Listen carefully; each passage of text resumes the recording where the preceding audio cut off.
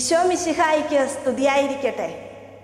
ഇന്ന് നമ്മൾ ധ്യാനിക്കുന്നത് വിശുദ്ധ യോഗനാന്റെ സുവിശേഷം അഞ്ചാം അധ്യായം മുപ്പത് മുതൽ മുപ്പത്തിയെട്ട് വരെയുള്ള വചനങ്ങളാണ് സ്വമേധയാ ഒന്നും ചെയ്യാൻ എനിക്ക് സാധിക്കുകയില്ല.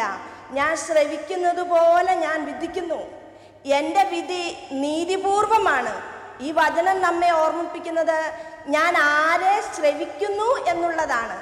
എന്റെ ജീവിതമാകുന്ന വണ്ടിയുടെ ഡ്രൈവിംഗ് സീറ്റിൽ ആരാണ്?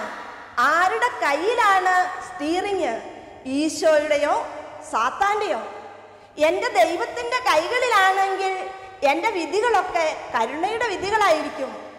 എന്താണ് ദൈവിക നീതി? അത് കരുണയാണ്. ദുഷ്ടന്റെയും ശിഷ്ടന്റെയും മേൽ ഒരുപോലെ മഴ പെയ്യിക്കുന്ന കരുണയുടെ നീതി. അർഹിക്കുന്നത് കൊടുത്താൽ അത് അവകാശമാണ്. അർഹിക്കാതിരുന്നിട്ടും കൊടുക്കുന്നതിന്റെ പേരാണ് കരുണ. ഞാനൊരു സമർപ്പിതയായിരിക്കുന്നതും നിങ്ങളൊരു പുരോഹിതനായിരിക്കുന്നതും ഒരു കുടുംബനാഥനും നാഥയുമായിരിക്കുന്നതും ഈ കരുണയുടെ പ്രത്യക്ഷമായ അടയാളമാണ്. രണ്ടാമത് ഈശോ പറയുന്നത് ഞാൻ മനുഷ്യരുടെ സാക്ഷ്യം സ്വീകരിക്കുന്നു എന്ന് നിങ്ങൾ വിചാരിക്കേണ്ട. മനുഷ്യരുടെ സാക്ഷ്യത്തിനൊക്കെ അനീതിയുടെ ചുവയുണ്ട്. കൈക്കൂലിയുടെ നിറമുണ്ട്.